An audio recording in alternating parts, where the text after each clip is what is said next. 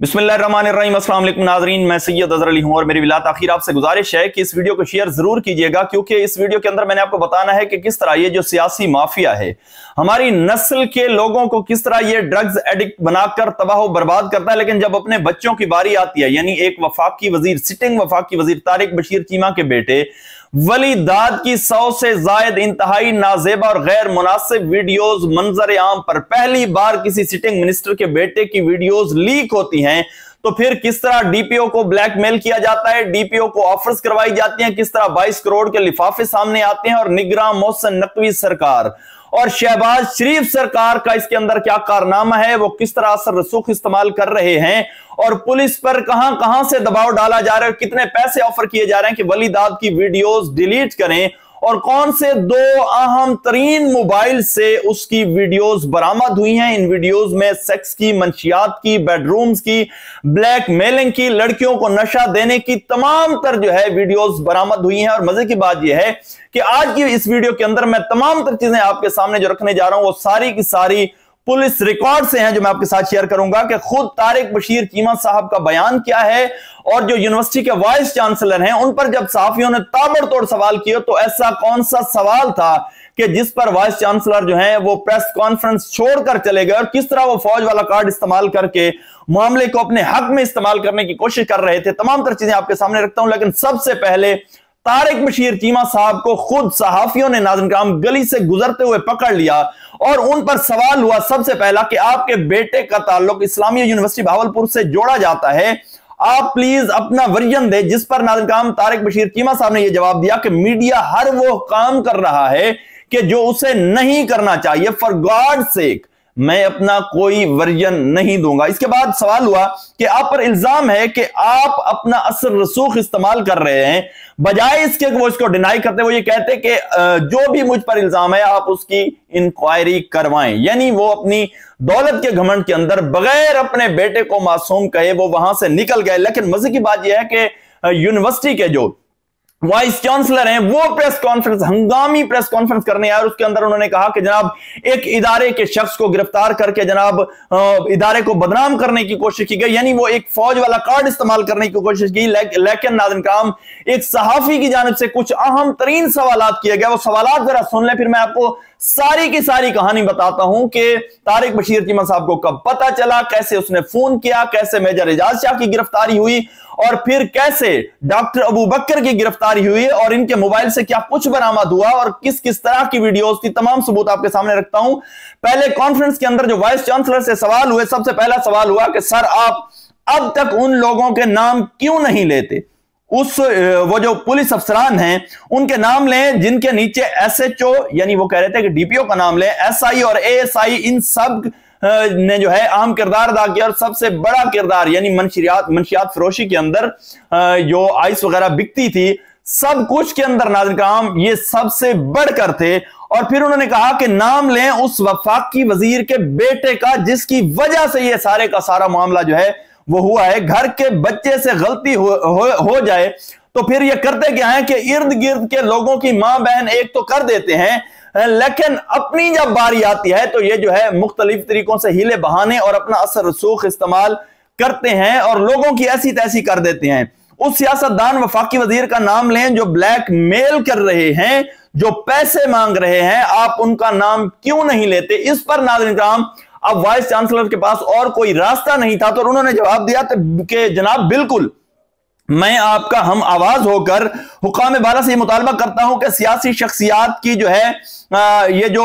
DPO पर आ, असर रसूख है उनका काम करना है और लोधरा से बदनाम जमाना टाउट को इस्तेमाल करना है और भेस बदल कर एजेंसी के अफसर की तरह जो है तफ्तीश करना है और ऐसे डीपीओ का कानून की धज्जियाँ उड़ाना ये सब कुछ सरासर गैर कानूनी है। और इस पर जो है माफ़ कीजिएगा पुलिस के अफसरान और सियासी शख्सियात इंतहाई शर्मनाक किरदार अदा कर रहे हैं। इन तमाम जाति अनापरस्तों की इंक्वायरी होनी चाहिए। फिर नाजर आगे साफियों की जानब से यह सवाल किया गया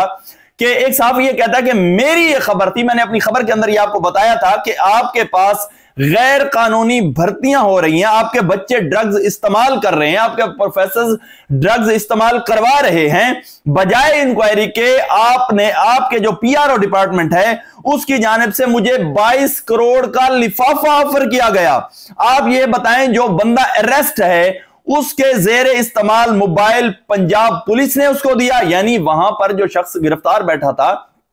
उसके पास जो मोबाइल था, क्या पंजाब पुलिस ने उसको दिया था? क्या पंजाब पुलिस जो है, वो खुद वीडियोस बनवाने का धंधा करवा रही थी? जिसके जवाब के अंदर उन्होंने सिर्फ़ ये कहा कि जनाब, ये तो इल्ज़ाम है और इतनी सी बात कहकर वो चले गए, जबकि एजाज शाह के मोबाइल से नाजर कहा मिलने वाली वीडियोस में से सौ से जायद, और ये पुलिस रिकॉर्ड है कि सौ से जायद वीडियोस जो हैं वो तारिक बशीर चीमा के बेटे वलीदाद चीमा की हैं और उसके अंदर उनकी बेडरूम्स की और यानी कि पार्टी के दौरान जो उनकी वीडियोस हैं, लड़कियों को ब्लैकमेल कर रहे हैं, लड़कियों का इस्तेमाल कर रहे हैं, लड़कियों को नशा व अद्वियात खिला रहे हैं, तमाम तर चीज़ें जो हैं, वो उसके अंदर जो है, वो पाई जाती हैं। और ये मैं नहीं कह रहा बल्कि पुलिस रिकॉर्ड ये बता रहा है कि जनाब ये तमाम तर चीज़ें मौजूद हैं। अब असल कहानी क्या है? इसके पीछे जो असल कहानी के अंदर ट्विस्ट है वो ट्विस्ट क्या है? अब क्यों जो मेजर इजाज शाह साहब हैं, पुलिस क्यों कह रही है कि उसका बजाय जिस्मानी रिमांड के अदालत खुद हैरान है कि वो ये कह रहे हैं कि कल तक आप कह रहे थे कि इसको जनाब इससे मजीद वीडियोस बरामद करवानी और आप ये कह रहे हैं अचानक आकर के जनाब आप यानी आपको इसका जिस्मानी रिमांड नहीं चाहिए, बल्कि आप जुडिशियल कर दें। इसकी वजह क्या है? असल कहानी यह है नाजगाम के तारिक बशीर चीमा साहब उस वक्त रास्ते में थे जब उन्हें एक फ़ोन कॉल आती है और बताया जाता है कि आपके बेटे का ये इस्लामिया यूनिवर्सिटी जो है,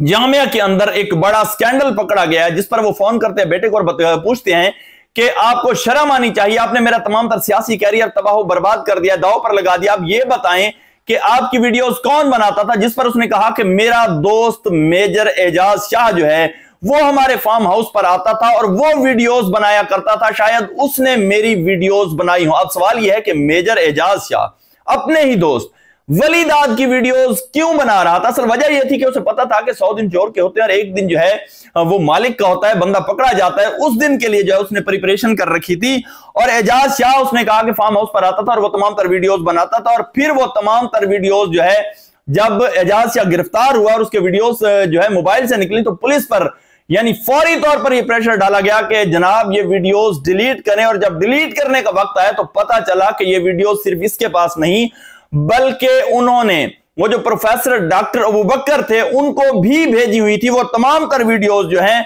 उनके मोबाइल में भी यानी 400 से ज़्यादा वीडियोस डायरेक्टर फिनांस जो थे डॉक्टर अबू बकर साहब उनके मोबाइल से भी बरामद हुई। पुलिस रिकॉर्ड के मुताबिक वलीदाद चीमा की ब्लैक मेलिंग मंशियात फरोशी लड़कियों को नशा देने दौरान पार्टी पार्टी के बाद बेडरूम्स की वीडियोस कसीर तादाद के अंदर जो हैं वो मौजूद हाँ, लेकिन नादरगाम वफाकी वज़ीर जो है, तारिक बशीर चौधरी तारिक बशीर चीमा साहब, उनके बेटे समेत, अब सुने जरा, उनके बेटे समेत ये जो सारे का सारा गैंग था, उसमें शामिल दीगर जो बासर अफराद हैं, उनके डेरों पर बाकायदा तौर पर गाड़ियाँ लाई जाती थी, वहाँ पर लड़कियों को नशे का आदि बनाया जाता था, और यह सिलसिला एक तवील अरसे से चल रहा था, लेकिन अब क्योंकि वो जो मेजर एजाज शाह साहब हैं, उनके पास कोई एक मोबाइल था, उसने रबता किया और कह दिया होगा कि जनाब आपकी सौ से ज़्यादा वीडियोस हमारे पास मौजूद हैं, हम भी बहुत चीज़ें यानी उन्होंने पहली बात तो यह है कि वलीद आजीमा को डायरेक्ट ये जो अब तक की इतलात है, उसके मुताबिक धमकी लगाई है कि आज मैं और कल आपने गिरफ़्तार होना है, क्योंकि मेरे पास नाकाबिल तरदीद शवाहद मौजूद है, आपकी बाकायदा वीडियोज़ मौजूद हैं। उसके बाद पुलिस ने अब यह फैसला किया क्योंकि ज़ाहिर सी बात है, जब ताकतवर का कोई बच्चा, कोई ताकतवर शख्सियत पकड़ी जाती है तो हमारा कानून यह कहता है कि इसने जितने भी गुनाह किए हैं, वो शरण हलाल हैं, वो तो इंतहाई कानूनी हैं, वो जायज़ हैं। अगर गरीब का बच्चा तबाह बर्बाद होता है तो हो, हम इस तरह नहीं कर सकते कि किसी भी अशराफिया या इलिट क्लास के बच्चे को, किसी फर्द को हम बदनाम करें। हमारी इतनी ज़रूरत नहीं है, हमारे कानून के अंदर इतनी ताकत नहीं है कि वो किसी ताकतवर के गिरबान को पकड़ सकें। और ये अब तक की डिटेल्स हैं कि अब तक वलीदाद पर ना कोई एफ़ हुई है, ना गिरफ्तारी हुई है, बल्कि उल्टा जनाब मेजर एजाज शाह साहब को जुडिशल कर दिया गया है। ये है अब तक अपडेट्स। में ख्याल रखिएगा, पाकिस्तान जिंदाबाद।